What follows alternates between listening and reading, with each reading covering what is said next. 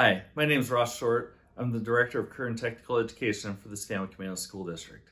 Hi, I'm Lieutenant Dana Larkin with Camano Island Fire and Rescue, and I'm in charge of our high school cadet class. Last year, we applied for a grant through the Office of Superintendent of Public Instruction. We received about $28,000 from the state of Washington that we used to purchase equipment to help supply our fire service program uh, we received everything from radios to help with communications in the class, thermal imaging cameras, safety RIT packs, chainsaws, hand tools, rope bags, smoke masks to simulate being in a smoky environment, and fog machines so we can actually put smoke into our burn prop. They had their own industry standard equipment to practice on and learn from to help them prepare for their future careers in the fire service. Part of the great thing about our cadet class is we've been running this program for 13 years now. About 15% of the students who go through the class are now full-time firefighters around the state. We have two former cadets who are full-time for us. We have seven additional cadets who have graduated in the last two years who are in the process of becoming part time firefighters.